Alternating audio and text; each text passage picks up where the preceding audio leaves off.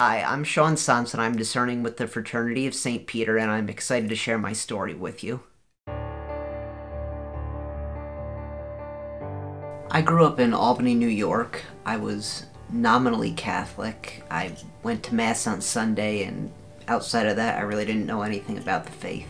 As I researched it, I, I realized, oh, Christianity seems like it's it's the right faith, like it's true.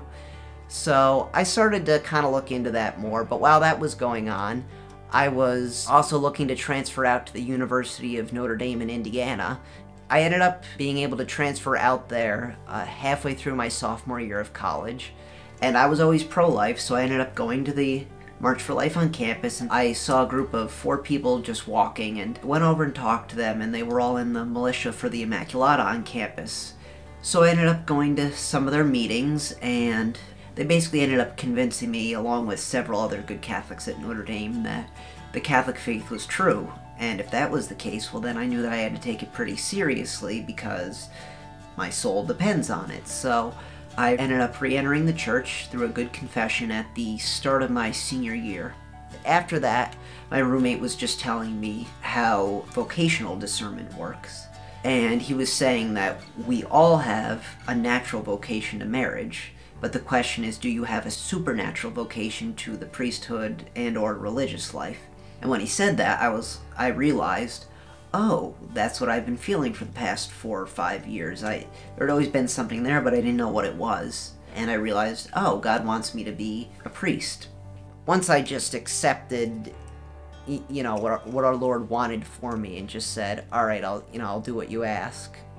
Um, I just I was just so at peace and just so joyful. That was one of the happiest uh, moments in my life, without a doubt. And ever since then, I've just been so looking forward to when I can be a priest.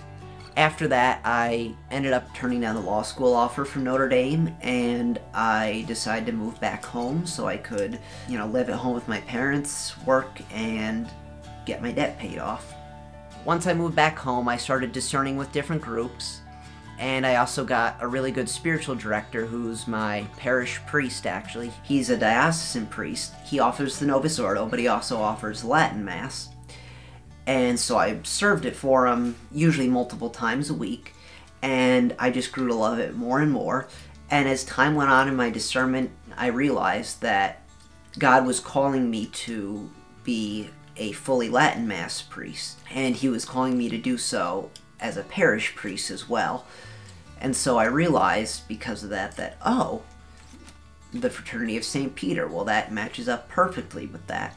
Through spending time around my spiritual director and just seeing how he interacts with people, brings people to the faith, I mean, just being around him for over a year, you could just see everyone around him just becoming better people and loving our Lord more. It was it's just amazing to watch. That's the kind of priest I want to be, is someone who can bring people closer to our Lord and our Lady like that. I really want to be able to show people how to develop a true friendship with the Blessed Mother and with her son because that's really what the faith and what life is all about. It's really just the best thing in the whole world and I really look forward to being able to share that with people as a priest.